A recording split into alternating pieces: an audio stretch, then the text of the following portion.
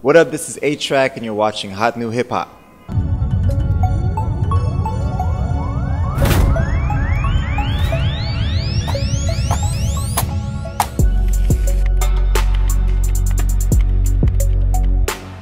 Hi, my name is A-Trak. First and foremost, I'm a DJ.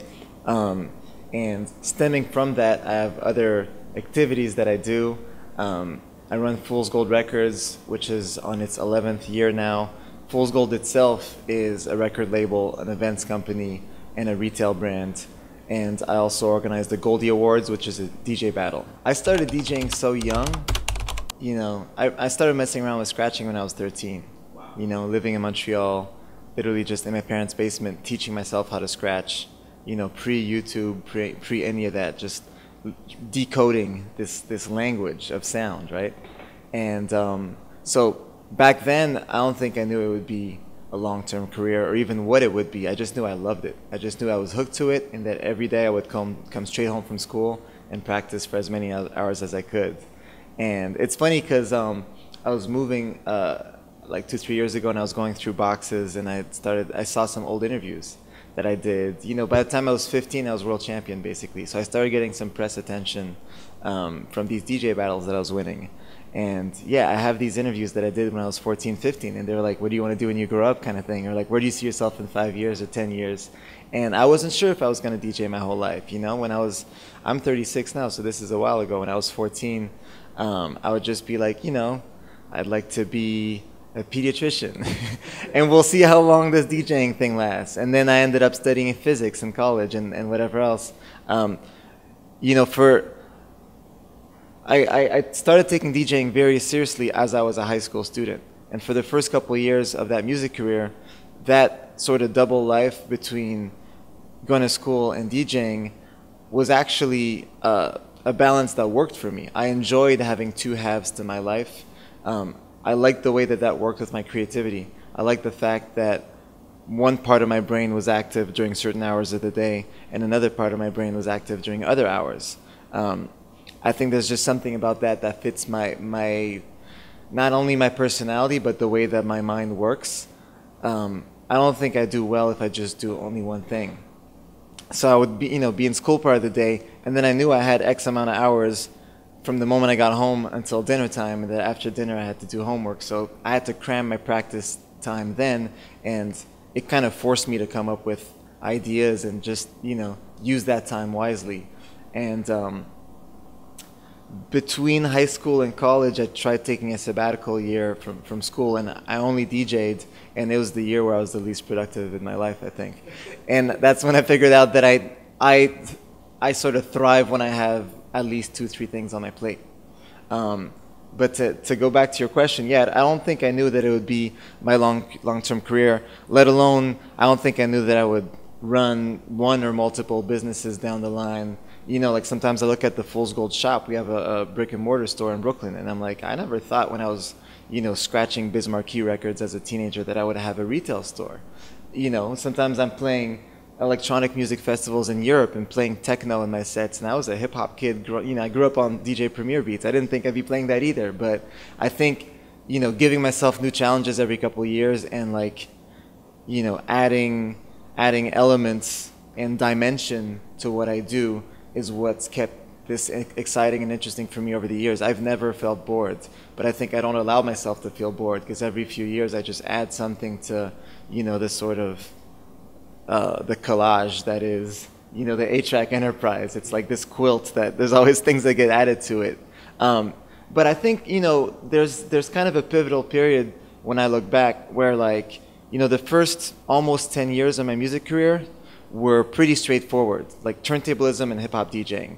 You know, it went from learning how to scratch to entering battles and winning battles to winning as many battles as I could to you know, coasting off of that for a, a, little while, and then you know, meeting Kanye and working with him, uh, starting in 04, shortly after college dropout, and uh, that period of like the mid 2000s, 2004, 5, 6, I feel like there's a lot of shifts that happen at that point in time, as much in the scene as in the way that people consumed music and culture and media, as even just certain growths for me personally as an individual that ended up defining my approach to my career in the long term.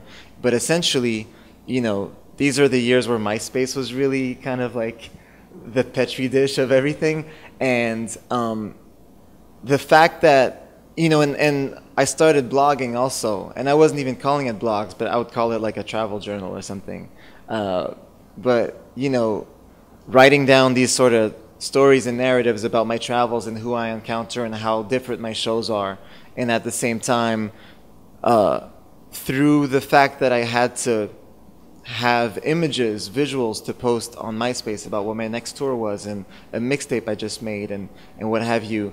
Uh, I started taking, you know, the aesthetic and uh, side of things more seriously and like just being more concerned with having a logo and a style of graphics that's consistent and making sure, you know, the cover art looks like the tour flyer and that kind of thing. That sort of like woke up my marketing brain in a sense. That ignited the marketing side of like, hey, let's make this look at look like a thing and like it tapped into the music fan in me that always obsessed over, you know, uh, artwork of records that I loved, or even like looking looking at uh, looking at the full package and looking at the legacy of labels that I loved and um, certain artists that would you know eventually have their own label and you know their own magazines. You know, Beastie Boys who had Grand Royal as a magazine and, and, and a label to sign other artists to and that kind of thing. And it, it made me start looking at my own projects that way. I think that period in time, combined with the fact that like working with Kanye made me feel like I had to define myself even more because I was standing next to the sun basically. Like I could just get eclipsed very easily. Like it made me feel like, all right, I'm not gonna go from being, you know, record breaking multiple time world champion to someone's DJ. No, just you know, it was never disrespecting the Kanye, and he respected that too. It just made me feel like, all right, let me just get my shit tight and make sure that what A-Trak stands for is very defined to people too, so that it becomes an interesting package and not just suddenly hiding behind someone. So all those things that happened in that period of like 04, 05, 06 um, made me really think about uh, marketing myself more.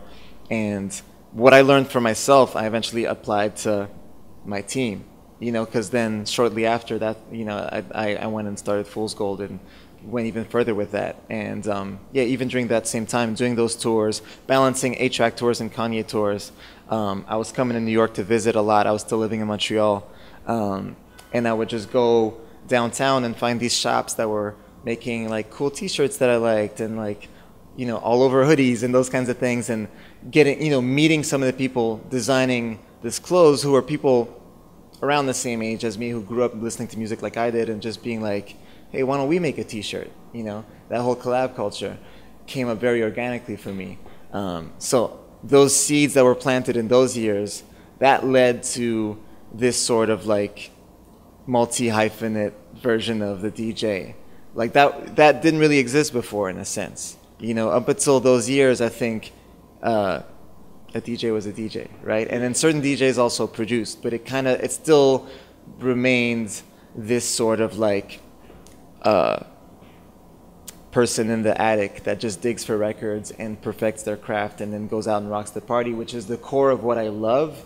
But I think the shift that happened at, at this time that I'm describing right now is also made me think, okay, I'm going to stay that person, but I'm also going to write about what I do, and I'm also going to work with people whose aesthetics I like and create an image around what it is. And, you know, this is the kind of clothes I'm going to be recognized as. Like, this is my outfit.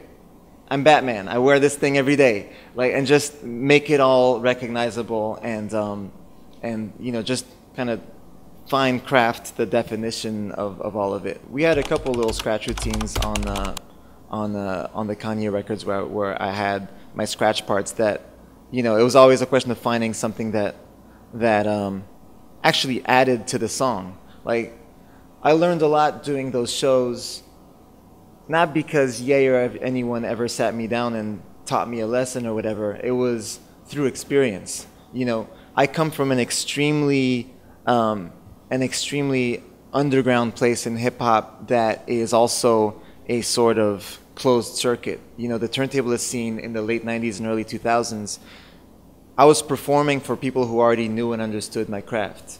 You know what I mean? So I never had to in those early years, I didn't have to sort of walk the audience through what I was about to do. If I was doing a very technically elaborate beat juggle or something, the audience knew what a beat juggle was in the first place, and they'd already probably seen the X-ecutioners and this person and that person. So they were like, oh, this is A-Trak's take on a thing I already know. And then when I started working with Ye, and I would be performing at the VH1 Awards or the, the Grammys or whatever else, or our first tour was opening for Usher, performing for Usher fans who certainly didn't know what scratching on vinyl was. It made me think like, oh, I need to contextualize this. And that too, that really opened a whole other part of my brain. And it's funny because I feel like ever since then, and also the more I started producing my own music, it's like I had to teach myself to produce my turntablism. You know what I mean? Because it's like, it's literally, I, I had to learn how to present it. And I never wanted to dilute it. So it's just figuring out ways to present what I do with my skill set with just a little bit more context as opposed to just diving straight in, crazy fast shit where people are just like, I don't even know what he's doing right now. It's subtle little things and little choices, choosing the right song, knowing what to do, where and when, and how to dose it, what quantity. Um, that's production. The Goldie Awards has been really fulfilling for me personally. Last year was the first year, and just, you know, it took us two years to even get it off the ground. Um, but there's a big part of that where for me personally, it felt like I was able to tie a big loop in my life and go full 360 by going back to the type of platform that, that gave me my name, right? Because I got known in 97 when I was the youngest ever world champ. That put me on the map and allowed me to get gigs for years. I was able to create a platform that can do that thing for today's DJs but also using a lot of the know-how on all kinds of things that I accumulated in the meantime, right? Because 10 years ago when I started Fool's Gold, it was a little bit hard to put turntablism in front of people's faces in certain ways. I would do it myself, but I didn't, I didn't necessarily have some of the infrastructure needed to fully take as many people as I wanted through the door. So like, I kind of went forward by myself at first to try and open more doors and set up, a, you know, put a few pieces in place. And by running Fool's Gold, which also includes an events branch, Fool's Gold Day Off that's existed since 2010, learning and running Fool's Gold Day Off taught me how to um, curate a lineup and how to how to um, influence the kind of audience that you want to bring to your event too, with all kinds of decisions from what the artwork looks like to who's also on the lineup. You know, what all these little connotations bring to someone's mind when they see a flyer and they think, I want to see this. And like opening new people's curiosity to something they haven't seen before. I used a lot of that know-how to start the Goldie Awards. Because a big part of the, of the mission statement for the Goldie Awards was to bring new blood and a sort of feeling of refreshment and reinvention to turntablism and, and, and, and battles. I didn't want to draw only the same people who go to other ba existing battles because those have been sort of struggling to get the attendance that we all want. I wanted to figure out a way to combine that base with people who are who go to a Fool's Gold show and will tell me that they first saw a Travis Scott or an ASAP Rocky on our stage. Like people who come to Fool's Gold for discovery and like all the cool downtown kids who have the coolest Instagram pages or the person who's going to be who's just put out a new record that's so dope that I'm going to put it on the Fool's Gold stage next year also like all that sort that community I wanted to bring that community to, to the Goldie Awards and show them skillful DJing for them to be like yo I love this even though they hadn't seen it in that format before so that was to me that was a big part of the mission and the achievement of the Goldie Awards even last year and that we're bringing back this year is the way that I really tried to combine you know all these different branches and lessons and elements of what I've done in the last 20 years and put it on one stage. I had another label before Fool's Gold. Audio Research was literally just my brother and I um, back in Montreal. Uh, we started that label the same year that I won my first DMC battle, so in '97, and that was that was born in in the spirit and in the boom of the late '90s indie hip hop revival, and that's the scene that really raised me. Fat beats, you know, Rawkus Records. Audio Research, the first label that my brother and I had that I was telling you about. Um, literally, we would, you know, we got a, we parlayed our way into a distribution deal with Fat Beats. We would press vinyl in Canada, send it over to Fat Beats, and they would get it to record shops around the world. And that's amazing because to this day, I'll go to like Germany and someone will bring me a 12 inch of something that I pressed up when I was 16 and be like, hey, can you sign this? And I'm like, yo, this is 20 years ago. But that planted so many seeds, and that was such a community, such an organic grassroots community that had the same values and the same attachment to certain things that were holy to us. Um, you know, people hold on to that their whole lives. So everything I've done during the rest of my career was based on those kinds of values. And I know the value of something that's homegrown. And, you know, I, I could go and perform a festival in front of 50,000 people one day, but I'm just as excited to build something with my bare hands, with my friends, and continue to create that feeling that that German fan had, had when he bought our 12 inch 20 years ago. Like people know when something is built with that personal passion. Uh, disputed, disputed story for the name. It's funny, but essentially, so Fool's Gold is really um, at the at the core of it. It's a it's uh, it's um, you know a partnership between myself and my friend Nick Catchdubs. Catchdubs is a DJ from New York, and you know he and I became friends around that, that period that I was talking about earlier, around 06, when, you know, uh, blogs became prominent and, you know, you could just download MP3s of some, some type of music that you hadn't heard about and share it with friends. We were friends on iChat. You would send me like some new hyphy record that I didn't know, and I was like, "Oh wow, the bass got a new sound," and we would just build on that kind of stuff. And you know, he's someone that's just endlessly curious and full of so much knowledge and then I go and meet so many people and I dig some stuff up my own way too. And when we combine our brains, there's just a lot of ideas that go constantly. And Fool's Gold was born from that. And um, uh, long story short, we were brainstorming for names and we would, ju- and we decided to start Fool's Gold during the sort of Christmas and New Year's holiday, you know, end of 06 into top of 07. So I remember like that Christmas and New Year's break just sending each other emails with lists of like 20 names each. Like here's here's what I got, and just going each other's list over each other's list and being like, ah, I'm not sure. I like this one. I don't like that one. And um, at the time, I was also dating uh, a rapper uh, called Kid Sister from Chicago, who was one of the first artists on the label too. And so she was, yes, she, she was one of our first artists, but she and I would always brainstorm on stuff too. Uh, she claimed that she came up with the name. I will say, sure, I thought I came up with it, but I will, you know, do the cavalier thing and say she probably came up with it. I just remember that we had a long ass list. I don't, none, no one, none of us remembers who put what name where. Uh, you know, the funny thing is too is that at the time, I really liked coming up with names for stuff, and a lot of my favorite names um, were sort of absurd. And if you think about duck sauce and some of my other projects, like none of it really means anything. It just sounds like a thing. Yeah. yeah it sounds like it exists, but you don't know what it means. Um, and uh, I, uh, Ye was a fan of my sort of absurd humor at times. And when I couldn't decide between two, three things, sometimes back then I would text him and be like, hey, uh, I got to name a tour or I got to name a label. I got to do this. What do you think, A, B, or C? And then he would tell me his thing. And I remember he was the tiebreaker for Fool's Gold. You know, arguably the biggest record that I've made, Barbra Streisand.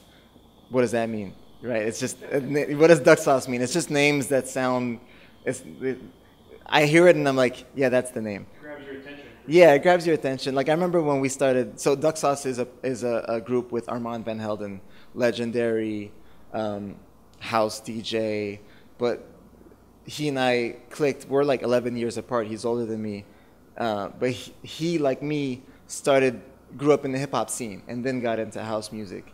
And then when I got into electronic music, that was always my approach too. Like I'm a hip hop kid. I scratch records.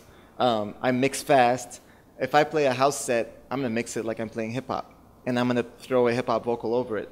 So he saw what I was doing around those years, and he was like, that guy's like me but younger and we started hanging out and, and we started making records and um, we named the group duck sauce and um, people would ask us in interviews, "Why do you call yourselves Duck Sauce?" And we would just say, "Just to make you ask that question." Or like, why'd you call the song barbra Streisand? Just to make you ask, why'd you call the song barbra Streisand? Just to fuck with people a little bit. I mean, here's the thing that's interesting. You know, Fool's Gold turned 10 last year. We're on we're on our 11th year now. So it's that um, that uh, that sort of goalpost, that landmark, um, made me reflect a lot on what it means to have a label for all these years. And it's interesting because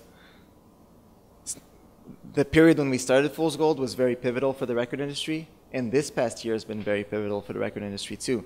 On the extremely foundational level, like almost ideological level of like, what does it mean to have a label? What is a record label? Right? So we started Fool's Gold in 07 when majors were crumbling, right? Like Napster years, like majors were shitting themselves.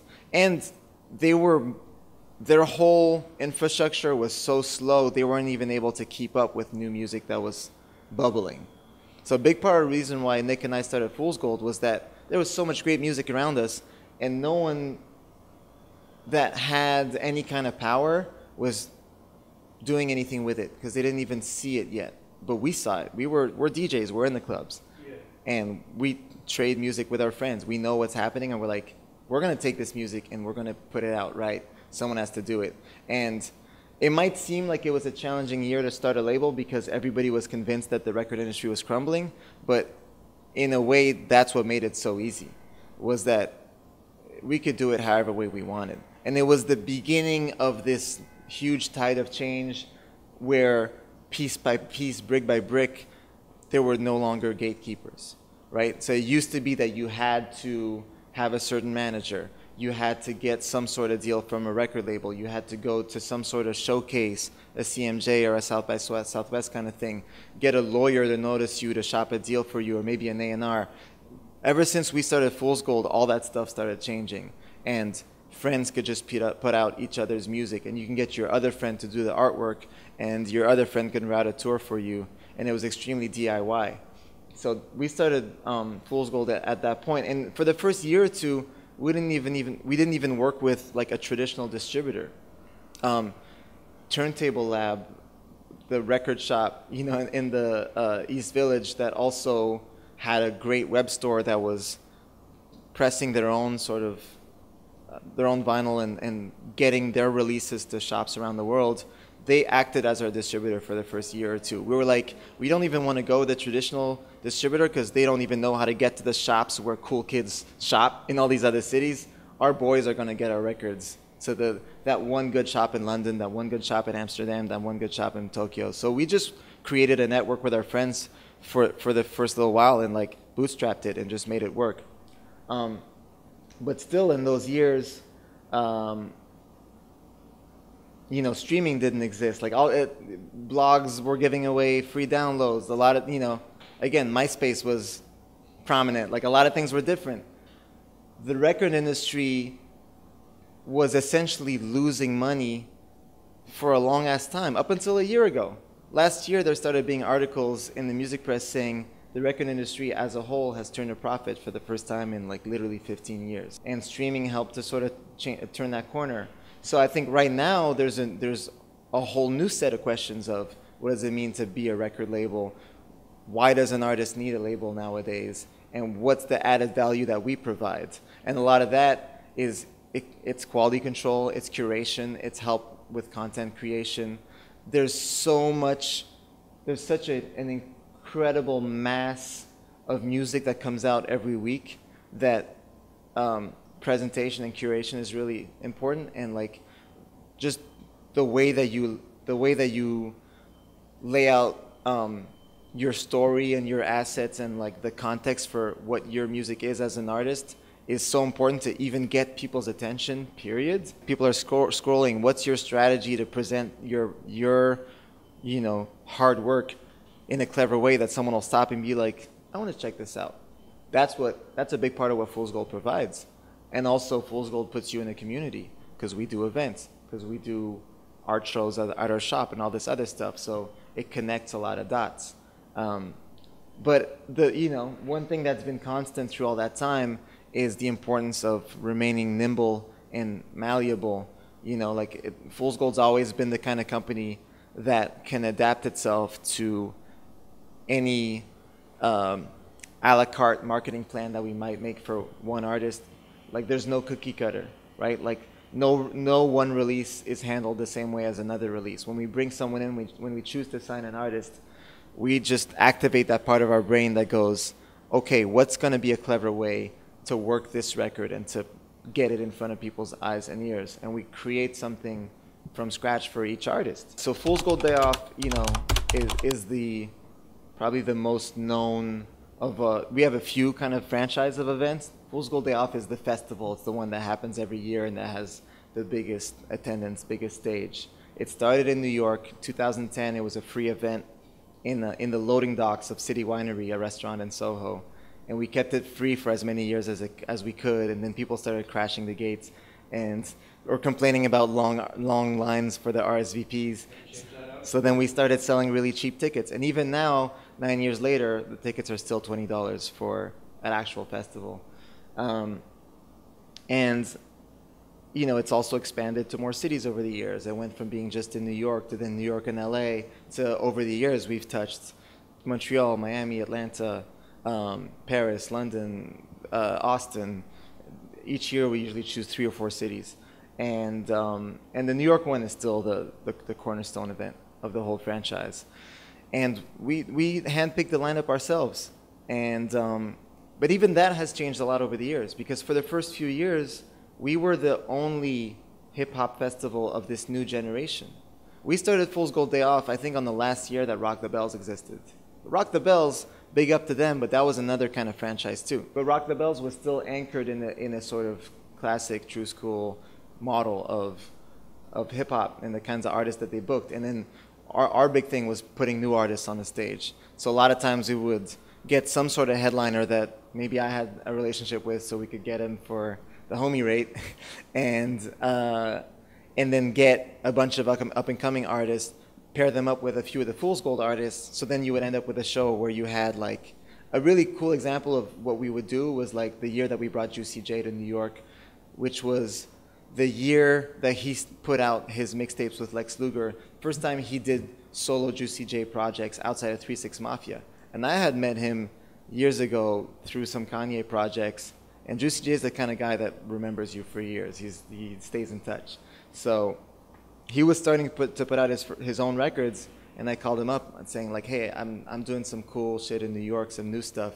And um, I think our audience would go crazy if you came and perform. And they, everybody's listening to your mixtapes here in New York. And he literally asked me on the phone, like, you think, you think they'll know my my Juicy J records in New York? Like, are they are they up on it? Because it was brand new for him to do records outside of Three Six Mafia, and um, you know, he wasn't even sure if people were actually listening on the other side of the country.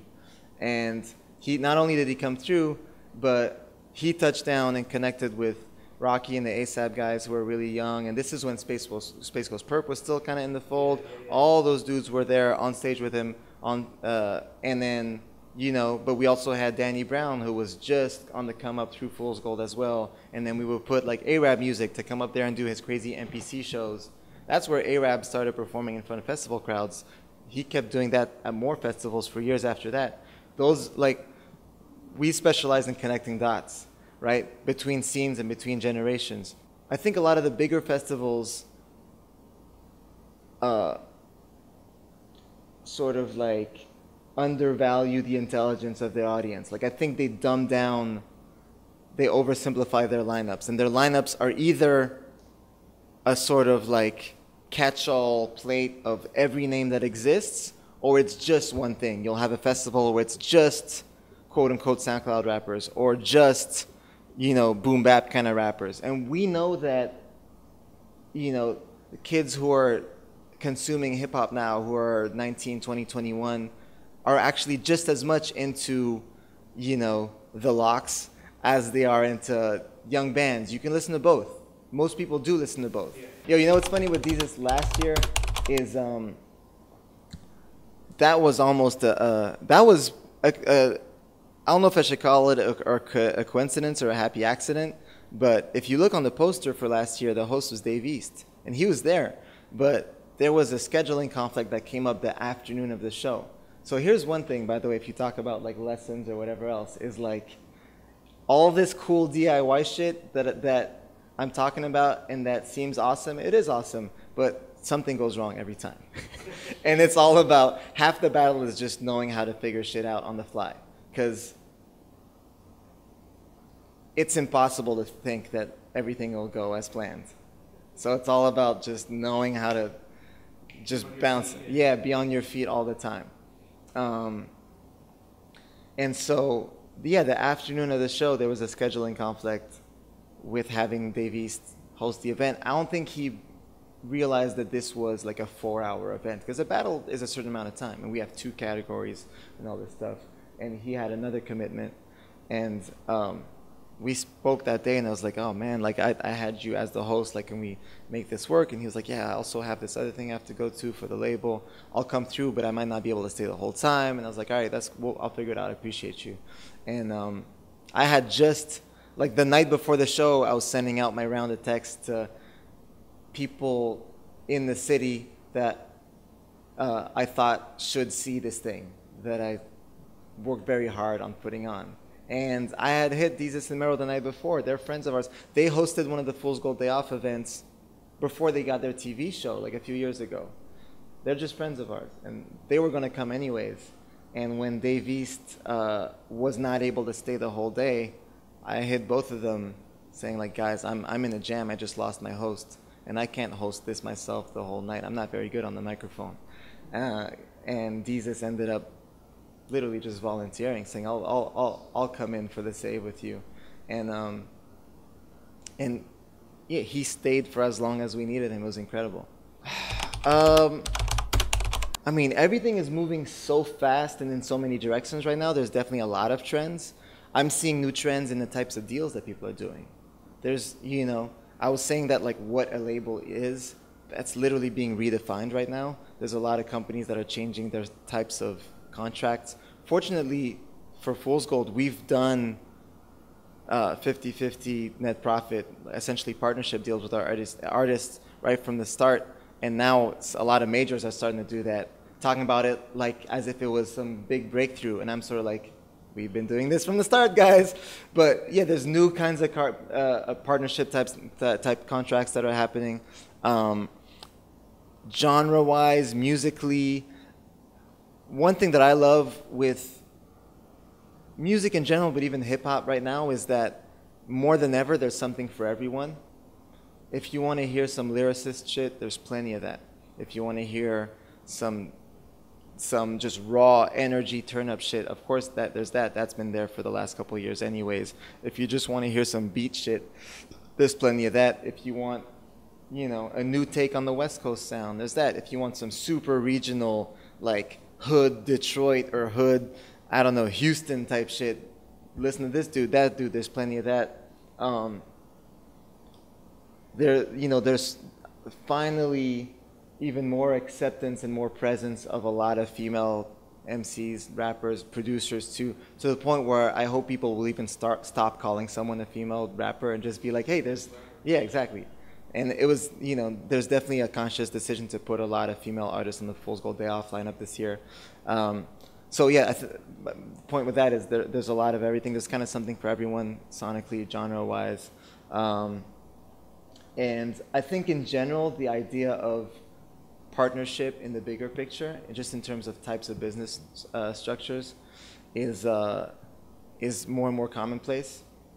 Um, I hope uh, I hope the clout chaser, the clout chaser thing will die down a bit because there's definitely a lot of that, and there's a lot of people just trying to be in the cool crowd and trying to be affiliated with this person and that person. I think there's um, there's definitely a level of influence that's that uh, that is inflated, and um, I hope that substance will will you know get more importance from now on because there's going to need to be some sort of readjustment there. But I think that's starting to happen. And like I think the best way to do that, I never knock anyone, and anyone who has a certain amount of influence is doing something right, and I applaud them. Um, the best thing I can do is try to give more weight to the other side of the balance, right? So Fool's Gold comes from a very authentic place.